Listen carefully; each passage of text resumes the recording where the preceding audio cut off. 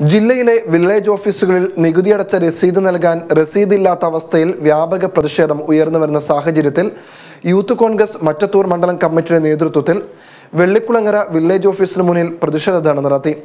D general secretary T M Chandran ഉദ്ഘാടനം ചെയ്തു. Youth Congress നിയോജക മണ്ഡലം പ്രസിഡന്റ് ലിൻഡോ പള്ളിപ്പറമ്പൻ അധ്യക്ഷത വഹിച്ചു. മണ്ഡലം പ്രസിഡന്റ് കെ ആർ ഔസേബ് മുഖ്യാതിഥിയായി തോമസ് കാവുങ്ങൽ സജീർ ബാബു നിസാർ കറുപ്പം വീട്ടിൽ സിജിൽ ചന്ദ്രൻ സായൂജ് സുരേന്ദ്രൻ എന്നിവർ സംസാരിച്ചു. സന്തോഷ് ബിനിൽ ബാലൻ അനൂപ് മറ്റത്തി എന്നിവർ നേതൃത്വം നൽകി.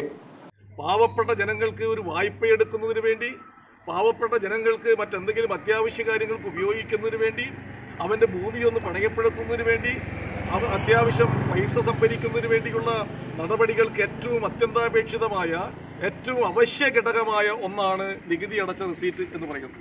ആത്മബന്ധങ്ങൾക്കൊപ്പം സുവർണ മൂല്യങ്ങളോടെ Ramya Jewellers Golden Diamonds. Ramya Arcade Ashtamichira.